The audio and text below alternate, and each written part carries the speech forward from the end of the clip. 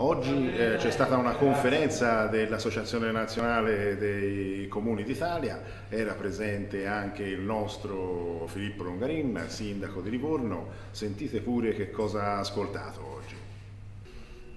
Abbiamo appena assistito a un intervento dell'assessore regionale Saccardi sulla, sulla, nuova legge regionale e devo dire che eh, a caldo abbiamo subito la necessità di comunicare eh, con, con tutti i cittadini, con la rete, eh, perché qualcosa veramente non ci torna, non si capisce veramente come sia possibile sentir parlare eh, l'assessore regionale di un processo di privatizzazione della sanità, queste sono state le parole esatte che sono state dette, per mantenere i servizi al cittadino, eh, quando in realtà un'analisi obiettiva di quello che in qualche modo è stato eh, l'incremento del fondo eh, alla sanità, che è passato negli ultimi dieci anni da 50 eh, miliardi di euro a 111 miliardi di euro eh, senza eh, aver di fatto visto un miglioramento di quello che è il servizio, eh, il servizio sanitario, un,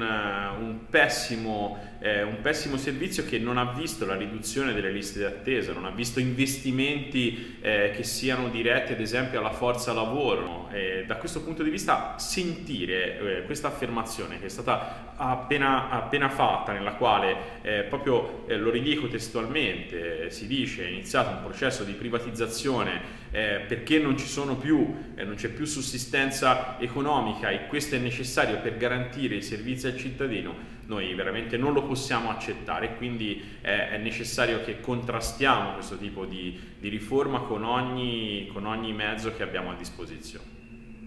Come avete sentito, la Saccardi finalmente ha messo a fuoco ciò che sembrava assolutamente sfocato eh, in questi mesi. Negli ultimi mesi eh, infatti ci raccontava che il grosso della eh, sussidiarietà rispetto a un sistema pubblico della sanità che non ce la faceva più sarebbe stato affidato alle associazioni di volontariato eh, della Toscana. Oggi ha chiaramente definito il campo di intervento, sarà quello della privatizzazione. Verso questa direzione ormai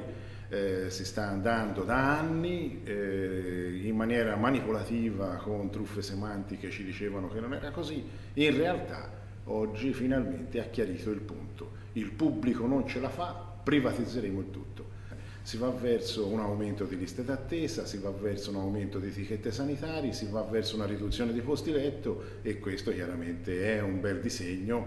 eh, dal nostro punto criminogeno che eh, ucciderà criminogeno in questo senso e ucciderà il servizio pubblico a favore del privato.